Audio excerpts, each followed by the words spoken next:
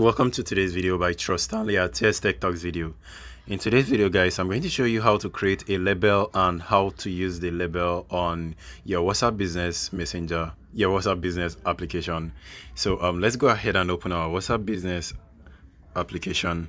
So um, this is your contact, right? And now to create um, a label for your contacts or to click a label, all you need to do is to click on this three dotted icon right here and now select the settings on the bottom. Now click on the business tools and then uh, you can notice where it says label right go ahead and click on labels and you can notice these are the current existing label right now i'm going to go ahead and add one more so i'm going to say um um best customer. So um, I'm going to save this.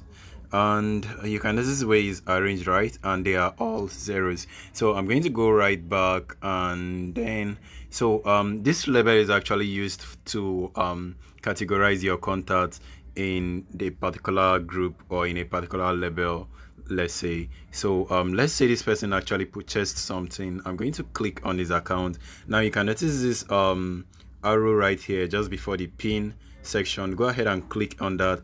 Now you can notice it displays different labels so um, I'm going to go ahead and say um, paid. So it marked the person as paid and now I'm going to click on the save to save that person. Now you can notice the person have this red I this um, pink um, label in front of it.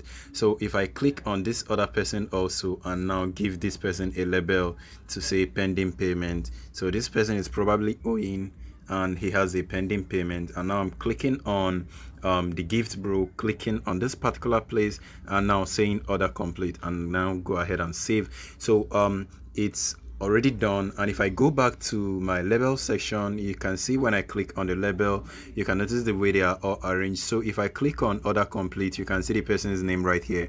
All this area this is just where you see your labels and if you click on each and every one of them you see the person's contacts display for you. You can see them displaying for you. So that is how to um, that is how to um, categorize your label in a particular format. So this actually works very fine. If there is a lot of contact on your contact list so if you actually add them to label you will easily be able to um, spot them by going to the label section and clicking on them.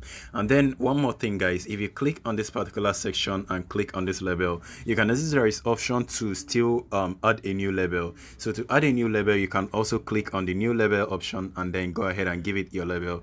And apart from giving giving your label a name once you give your label a name the color automatically changes to a specific color. So you'll be able to identify them either with the colors or by just either you memorize the colors or you just go to the um, label section and confirm it. So that is all for this video guys. Thank you guys for watching the video. If you're already subscribed to the channel just like the video and share with your friends. But if you are new to this channel please go ahead and subscribe. I really urge you to subscribe. You will have no regrets subscribing because i'm going to be making more video for you guys and i'm going to see you on my next video guys. Stay safe. Peace